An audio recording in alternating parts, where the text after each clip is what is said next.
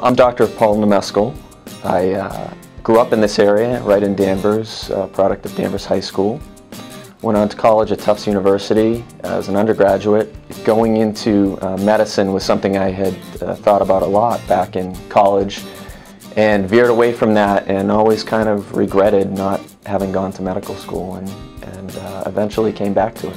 This required me to go back to Tufts and, and do some more coursework and ultimately go to medical school at Tufts University. Completed my residency locally as well at the Lahey Clinic and very excited to be coming back to Danvers and practicing in the area where I grew up. There's a lot of options in medicine. There are no other options that allow you to, I think, have the relationship with patients that primary care allows you to have.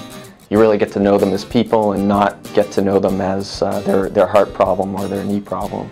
When I'm not at work, I have uh, four children at home, two girls and two boys, uh, who are very active playing sports. Uh, in addition, I enjoy coaching hockey in the winter, uh, both with my kids and I help out with the local high school team, uh, something that uh, I've stayed active in since I was a kid. I find it very rewarding to come back and, and see all these faces that I've known over the years and feel like I play an important part in their life.